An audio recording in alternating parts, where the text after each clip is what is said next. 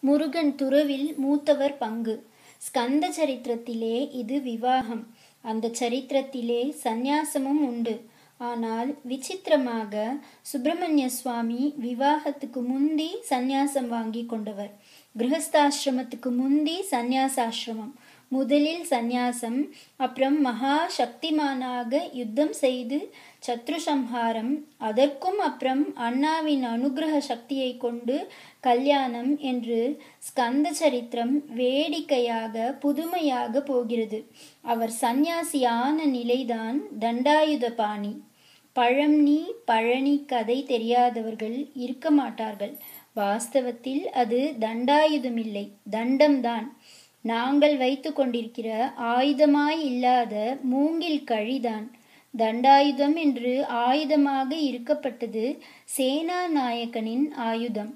லலிதாம்பாளுடைய சேனாநாயகிக்கு தண்டினி என்றே பெயர். அப்படிப்பட்ட ஆயுத தண்டத்தை வீசி சண்டை போடுவதற்கு முந்தியே மனசை அடக்கி வைப்பதற்கு அறிகுறியான சாந்தி தண்டத்தை பிடித்துக்கொண்டு பழனி மலை உச்சியில் நின்றவர் தண்டபாணி.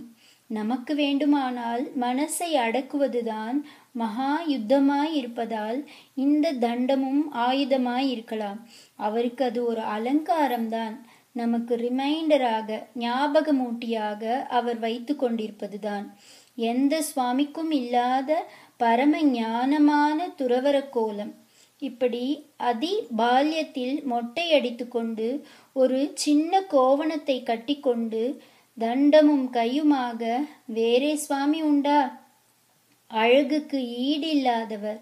சக்தியில் ஈடில்லாதவர் ஸ்தானத்தில் ஈடில்லாமல் தேவ நாயகனாக அவதரித்தவர்.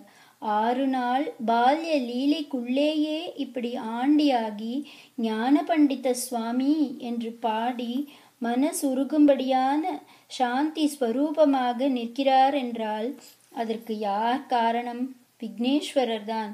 இவர் அப்பா அம்மாவை பிரதட்சணம் பண்ணி பழத்தை அடித்து கொண்டு போனதால்தான் அவர் தோற்று போய் ஆண்டியாகிவிட்டார். லோகத்துக்கெல்லாம் பரம சாந்திக்கும் ஞானத்துக்கும் மூர்த்தியாக அவரை இப்படி ஆக்கின கிரெடிட் பிள்ளையாருக்குத்தான் அப்புறம் தாயார் தகப்பனார் போய் சமாதானம் பண்ணினார்கள். இதெல்லாம் ஒரு நாடகம் தானே கோவனாண்டியும் தடபுடலாக யூனிஃபார்ம் போட்டுக்கொண்டு கமாண்டரின் சீஃபாக கிளம்பினார். ஆனாலும் தாம் ஆண்டியாய் இருந்த அவசரம் கோலம் லோகத்தில் என்றைக்கும் இந்திரிய நிகிரகத்தையும் ஞானத்தையும் சாந்தத்தையும் வைப்ரேட் செய்து கொண்டிருக்கட்டும் என்று கிருபை கூர்ந்து அந்த அவசரம் என்றைக்கும் பிம்ப ரூபத்தில் ஜீவ கலையோடு இருக்கும்படியாக சார்ஜ் பண்ணிவிட்டு கிளம்பினார். தேவசேனா நாயக்கன் என்ற உச்சமான அப்பாயின்மெண்ட்டுடனேயே சுப்பிரமணியர் பிறந்தது. அவர் வள்ளி கல்யாணமூர்த்தி என்ற கோலத்தில் தம்பதியாக நமக்கு ஒரு கருணை தாயாரை சேர்த்து கொண்ட பிரபு தகப்பனாராக ஆனது. ஞான வைராகிய சுவாமியாக பழனியில் நித்திய சாநித்தியம் கொண்டது. ஆகிய மூன்று முக்கியமான சம்பவங்களிலும் விக்னேஸ்வரரின் நெருங்கிய சம்பந்தம் இருக்கிறது. அதனால்தான் அந்த தம்பிக்கு இவர் தமையன் என்று தெரிவிக்கவே ஸ்பெஷலாக ஒரு நாமா இருக்கணும் என்று ஸ்கந்த பூர்வஜன் என்று ஷோடச நாமாவளியில் கொடுத்திருக்கிறது.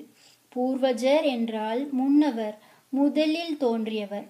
ஆதி இந்த பேரோ பதினாறில் கடைசியாக அந்தமாக வருகிறது. ஆதியையும் அந்தத்தையும் சேர்த்து சம்பூர்ணத்துவத்தை காட்டுவதாக தோன்றுகிறது.